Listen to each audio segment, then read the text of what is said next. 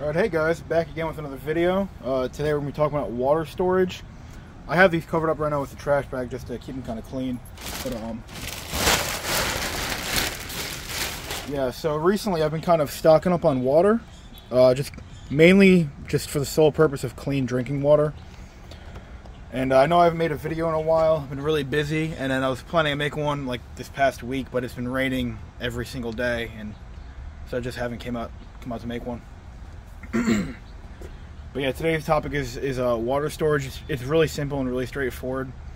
But as you can see here, I have these uh, big jugs. Most of these are between like, uh, I think these are all six gallons. This one in the end here that's a seven gallon.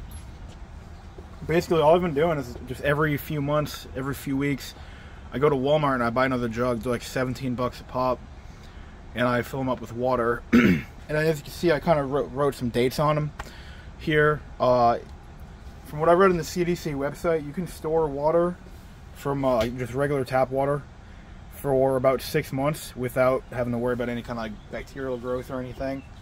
Um, I know the CDC is usually a bunch of lying fucks, but uh, I trust them on that. Although I, have I've been changing them out every about four months just to give myself a bit of buffer. Go the fuck away. Oh uh, yeah, sorry, it's my retarded sister. Um, yeah, so as you guys can, as you guys can see, I've just been picking up jugs recently. I think uh, you know I see a lot of people talking about water filtration, which is great, but um, I think you should also be storing some water yourself as well, just because um, it's it's nice to have that kind of backup supply. Whether if some shit happens, like whatever kind of natural disaster, anything. and you have no access to water, if you can filter, that's great. But if you have nowhere to filter from, uh, you're kind of you're kind of boned if you didn't stock up prior. I'm lucky enough that I live like right next to my town's reservoir, so I guess if I really needed water, I can just walk there and grab some. But I mean, I've been doing this in the meantime.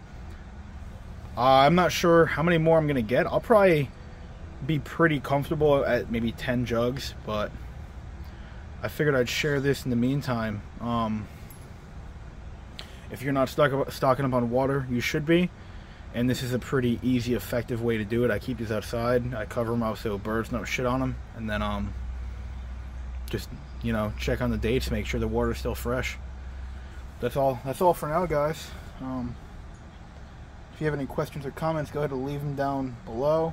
I'll probably link my Discord server or my Instagram if you want to follow me on there or join or whatever. I don't care. But I'll be back soon with another video.